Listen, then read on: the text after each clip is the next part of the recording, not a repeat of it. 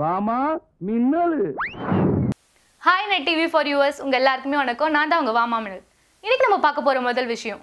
இம்ப்ரமேஷன் இந்தியாவில் ரிலீஸ் ஆன ஒரு இந்தி படத்துக்கு ரெண்டு இன்டர்வல் பிளாக் இருக்கு. அந்த படத்தோட பெயர் என்னன்னு கேக்குறீங்களா? அதுதான் சங்கம். நைன்டீன் சிக்ஸ்டி ஃபோரில் வந்த இந்த படத்தை டைரக்ட் பண்ணவர் ராஜ் கபூர். இரநூத்தி முப்பத்தெட்டு நிமிஷம் ரன்னிங் டைம் கொண்ட இந்த படம் ஒரு கோடி ரூபாய் பட்ஜெட்ல எடுக்கப்பட்டது. இம்ப்ரமேஷன் வேர்ல்ட்லயே அதிகமான படங்கள் நடிச்ச ஆக்ட்ரஸ் யாருன்னு தெரியுமா? அவங்க தாங்க நம்ம ஆச்சி மனோரமா. நைன்டீன் ஃபிஃப்டி எயிட்ல மாலையிட்ட மங்கை படம் மூலியமா அறிமுகமான இவங்க தௌசண்ட் ஃபைவ் ஹண்ட்ரட் படங்கள் மேல நடிச்சிருக்காங்க. இப்போ கூட நம்ம மனோரமா படம்னா எல்லாருமே இன்ட்ரெஸ்டா பார்ப்பாங்க இம்ப்ரமேஷன் வேர்ல்ட்லயே நிறைய படங்களை டைரக்ட் பண்ண டைரக்டர் யாருன்னு தெரியுமாங்க? அவர் தான் மலையாள டைரக்டர் சசிகுமார்.